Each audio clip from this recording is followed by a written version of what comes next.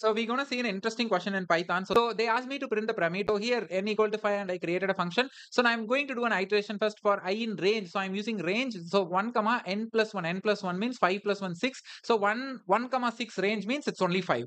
Okay. So but first thing is you have to give 4 spaces and then you have to print star. Then the spaces will be get re reduced from 4 to 3 and then 3 to 1 and then 1 space and no space. So this part is for space. So I'm just giving a space and then I'm multiplying how many space has to be get created. So n first time it will come 5. 5 minus 1, 4. So 4 spaces. And then it will be keep on decreasing. Plus I have to print the star. So star into I'm just multiplying with something.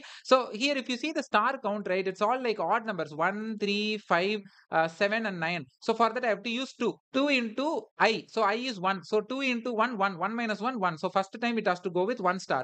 Then 2 into 2, 4. 4 minus 1, 3 star. Then 2 into 3, 6. 6 minus 1, 5 star and so on. So that's all guys. So Python is very easy and I am there to teach you like this. Please do follow my page.